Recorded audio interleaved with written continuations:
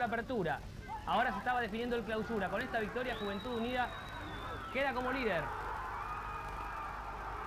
Por eso vale triple este gol de Walter Vasconcelo. En la segunda etapa, Saca Chispas tuvo la gran posibilidad de empatar el partido, pero